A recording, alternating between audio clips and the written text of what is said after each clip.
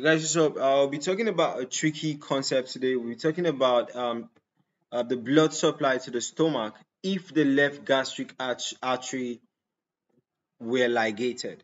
All right, and this is actually just a very simple concept. All right, this is actually testing your knowledge on the blood total blood supply of the stomach. All right, so if you know the whole blood supply of the stomach and left gastric artery is just one of the artery that supplies the stomach all right? You know the part of the stomach that the left gastric artery supplies all right?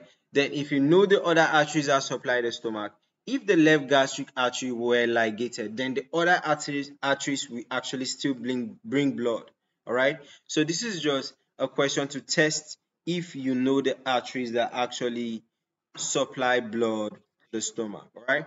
So the question is if the left gastric artery had to be ligated during surgery, give detailed account on how the stomach would still obtain an adequate blood flow or blood supply. This is very simple. The other arteries that supply the stomach will still supply blood, okay? Now, this is left for you to say the artery and say the part of the stomach that actually um, it supplies, right? Now, this is just for you to know that the stomach has uh, the smaller curvature and the greater curvature, right? So starting from there now, uh, this is the left gastric artery that was ligated, all right? Now, apart from the left gastric artery, we have the right gastric artery supply in the stomach. We have the right gastroepiploic artery supply in the stomach. We have the left gastroepiploic artery supply in the stomach. And we have the short gastric artery supply in the stomach, right? Now, this is not enough, all right? This is you talking about these arteries and talking about the part of the stomach that is supply, all right? So that's what we'll be going in. So, since the left gastric artery were ligated and cut, the stomach can still maintain adequate blood flow through the following arteries, all right? So we have the right gastric artery, which is from common hepatic artery, and it supplies the right half of the lesser curvature, right?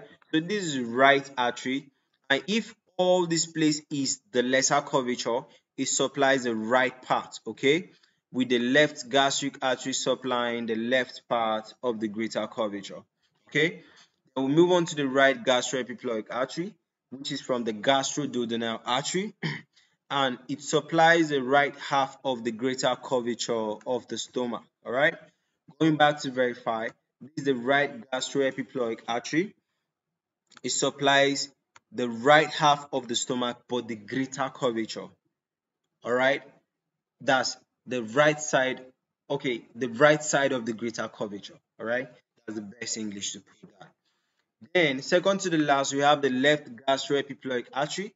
If the right gastroepiploic artery supplies the right side of the greater curvature, the left gastroepiploic artery will supplies the left side of the greater curvature all right? So this artery is from the splenic artery and it supplies the left half of the greater curvature of the stomach all right? They are about the short gastric arteries.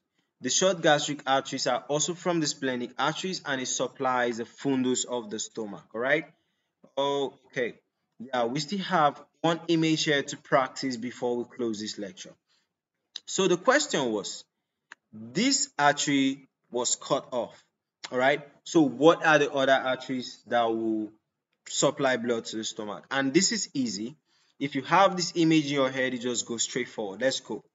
Uh, we have the right gastric artery. It is supplying the, the, the lesser curvature, but which side of the lesser curvature? The right side of the lesser curvature. Then we have the right gastroepiploic artery. It is supplying the greater curvature, but which side of the greater curvature? It is supplying the right side of the greater curvature. Okay? Then we have the left gastroepiploic artery. Uh, the left gastroepiploic artery is supplying um, the left side of the greater curvature. The right gastroepiploic is supplying the right part. This one is supplying the left part. Okay? Then how about the short gastric arteries? This one i always forget them Okay, they supply the fundus of the stomach, all right? They supply the fundus of the stomach, all right? So that's how the stomach will still maintain blood supply even if the left gastric artery were ligated. Okay, so that's it about uh, the blood supply to the stomach. See you guys in the next tutorial. Bye for now.